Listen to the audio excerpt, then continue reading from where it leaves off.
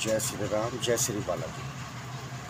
बाकी सभी देवी देवताओं और ब्रह्मांड में जिन्हें हम नहीं भी जानते, उन सब के श्री चरणों में ऋषि मुनि, संत, पीर पैगंबर, जो भी हैं, ईसाई और हमारे गुरुदेव, गुरु नानक जी, उनके ईष्ट, सभी के श्री चरणों में इन ब्रह्मांडवासी, यानी कि हम, जो हम हैं, प्रभु, ध्यान रखना, हम सबको गलती हो जाए बोलने में तो उसे फील मत करना।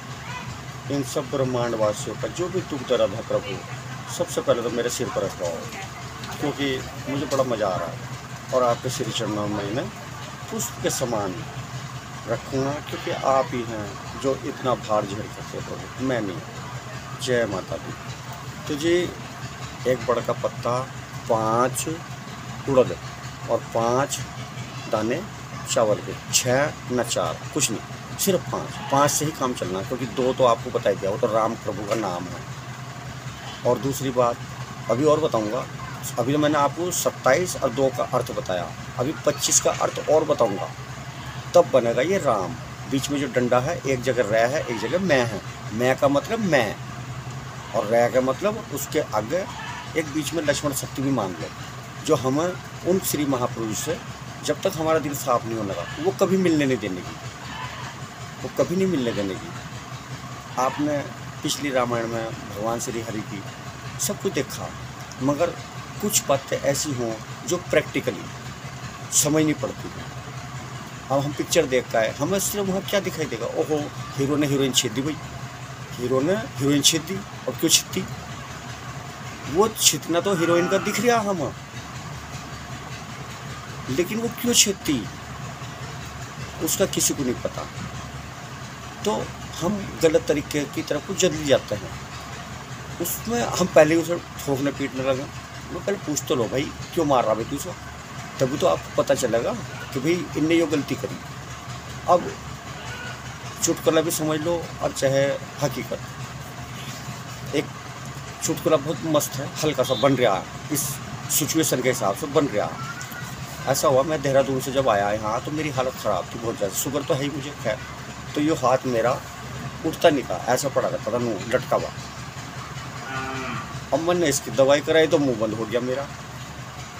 ग्राहक आ गए यहाँ और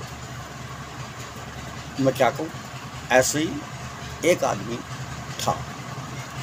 तो वो जो था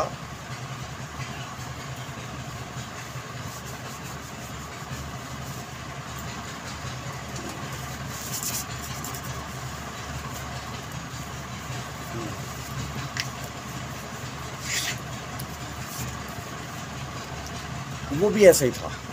उसका भी मुँह बंद। अब होया क्या? जैसे मेरे साथ हुआ, मैं तो अपने ऊपर ले रहा हूँ, अपनी आप बीती बता रहा हूँ, चुटकुले के रूप में।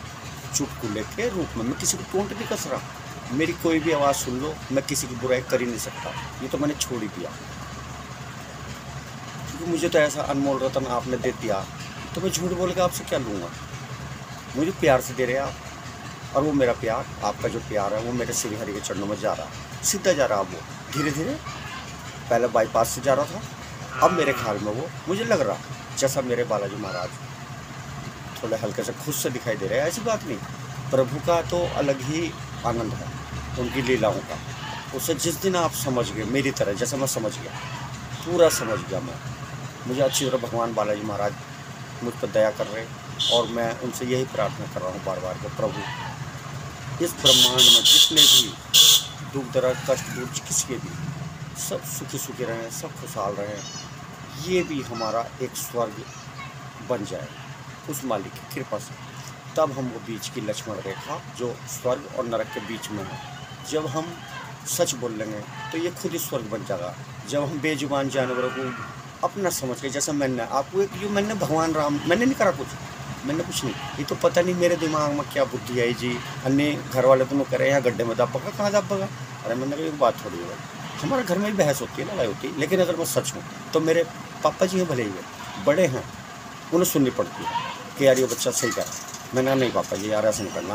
देखो इन्हें मेरी नौ साल सेवा करी और उसकी तारीफ़ ये थी, हमारे पापा, मम्मी जैसे मैंने आपको दिखाया, वहाँ बैठे थे, वो तो थोड़ी सी दिमाग में उतर गई।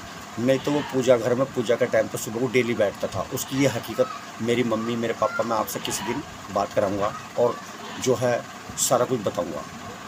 वो इतना पुजारी था स्पेशल हम बुलावा थे उसे। एक तारीफ़ और बताऊँ उसकी, ऐसी सैंकी बाबा नाम नहीं रखा उसका। हमारी मम्मी दूध भी लोती थी नू करके वो मलाई उलाई इकट्ठी करके। तो ऐसे जैसे बिलो रहे नू करके और मैंने कह दिया मम्मी जरा गला पानी पिला दिया।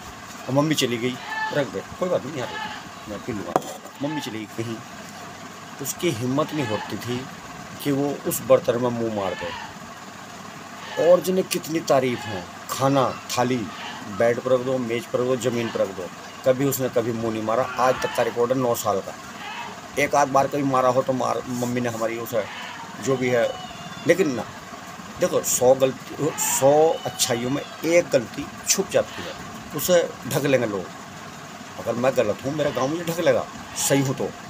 कि यार, बचाओ इसे बच्चे। को और सौ गलतियों में एक अच्छाई की वैल्यू नहीं रहती। वो अलग वैल्यू है उसकी, दूसरी जगह है उसका। अच्छा पर ऐसी पर नहीं। है उसमें भी करंट करंट दोनों में ही है। तो जी, ये हमारे शंकी बाबा की कहावत वो कहानी है और ये हमारे श्री भैरव बाबा जी। मैं तो उनसे हाथ जोड़ कर विनती करता हूँ कि अगर कोई गलती हो, मेरा जो ब्रह्मांडवासी सारे सुन रहे, अगर मैं उन्हें गलत राय दे रहा हूँ, उन पर इसका कोई गलत प्रभाव पड़ा तो उसका दंड पुनः मत देना ब्रह्मांडवासियों को, मुझे देना श्री बालाजी महाराज। मैं आपका, आपको मैं आँच नहीं आने देने का क्यों? मेरे साथ मैं चार खंभों के बीच में जाने वाला हूँ जिन्होंने ब्रह्मांड से रखा हमें आपको अपने जीवन के हाँ। हाँ कोई बात नहीं। अपने जीवन ना हो जाए कोई बात नहीं कोई अरे हो जान दे ठंडी यहाँ तो जीवन ही ठंडा हो गया तो चाय की बात कर रही तू। हाँ। दिखावा बस मैंने बताया ना आपसे दिखावा। ये इसलिए बोल कर गई ताकि आप लोग सुने कि ये कितना प्यार कर रही मुझे। मैं झूठ नहीं बोलने का।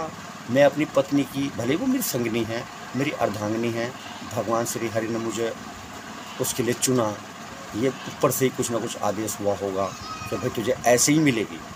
क्यों? मैंने शायद इतने बुरे कर्म करे कि मैंने अपनी इस घरवाली की वजह से, मैंने इससे जूते चप्पल, मैंने इससे भी खाए, मैं झूठ नहीं बोलने का मैंने इससे भी जूते चप्पल खाए। इनने मुझे पता कितना प्रताड़ित करा।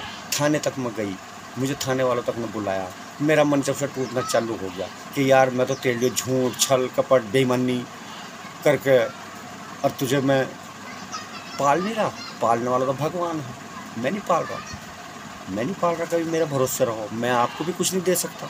मैं हूँ नंगा, देखो जी, मेरा हाथ में कटोरा। और उल्टा आप मुझे दे रहे। और वो जो आप मुझे दे रहे मैं उससे संतुष्ट हूँ। जय श्री बालाजी महाराज। थोड़ी देर में बात करूँगा। जय श्री बालाजी महाराज।